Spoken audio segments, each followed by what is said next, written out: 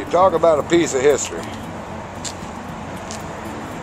There's the first example of you can spend all the money you want, but you can't build something worth the shit if you ain't got a good idea. And there's the second example of you can spend millions of dollars and build something that ain't worth the shit